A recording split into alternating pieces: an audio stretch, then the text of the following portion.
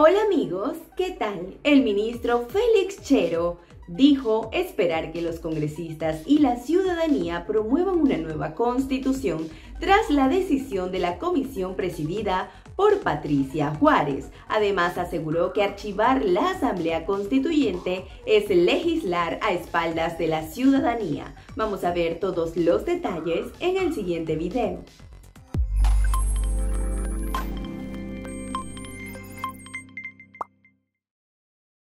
El ministro de Justicia y Derechos Humanos, Félix Chero, cuestionó que la Comisión de Constitución del Congreso archivara de plano el proyecto que presentó el gobierno para promover una asamblea constituyente. A través de las redes sociales, el, funcionario se pronunció luego que la comisión encabezada por Patricia Juárez de Fuerza Popular aprobara el texto que presentó la Secretaría Técnica en contra de la propuesta de reforma constitucional. Archivar un proyecto de reforma constitucional que responde a las legítimas demandas del pueblo demuestra que el Congreso legisla a espaldas de la ciudadanía. Félix Chero exhortó a la ciudadanía organizada y a los parlamentarios que promuevan una constitución política a través de un debate amplio y responsable que escucha todas las voces del país. La Comisión de Constitución del Congreso archivó el proyecto de reforma constitucional presentado por el Poder Ejecutivo para someter a referéndum la convocatoria a una asamblea constituyente que elabore una nueva constitución política. La votación concluyó con 11 votos a favor del dictamen de archivo y 6 en contra luego que se rechazara una cuestión previa planteada por el vocero de Perú Libre, Waldemar Cerrón, por una votación similar, 10 votos en contra, 6 a favor y una abstención. Muy bien, eh, señores congresistas, el decreto de archivo ha sido aprobado por mayoría. Eh, tengo que agradecer a todas las fuerzas políticas que se han aunado a este decreto de archivo que lo que finalmente hace es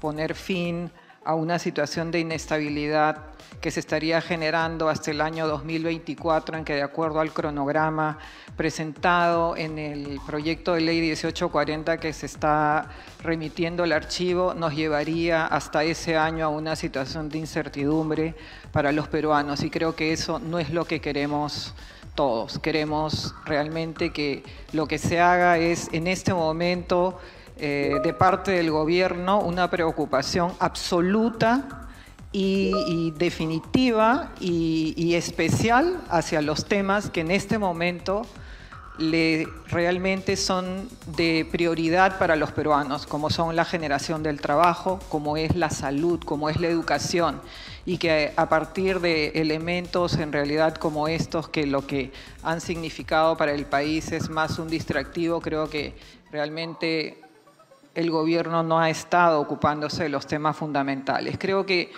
este decreto de archivo al que me han acompañado Alianza para el Progreso, Somos Perú, Renovación Popular, Avanza País, Acción Popular y Fuerza Popular, creo que pone fin a esta situación de inestabilidad para el país. Muchas gracias, señores congresistas que han participado con sus valiosos aportes.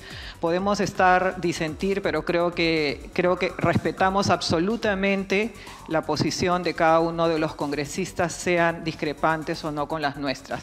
Muchas gracias a todos. Vamos a continuar con la agenda. El ministro de Justicia está decepcionado con la decisión que ya se veía venir y espera que el pueblo logre esto por otros medios. ¿Crees que esta decisión fue en contra de la voluntad popular?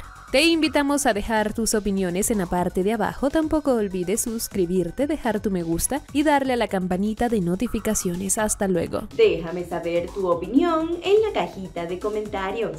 Muchas gracias por ver este video. Si te gustó dale like y suscríbete al canal. Nos vemos en la próxima. Chao, chao.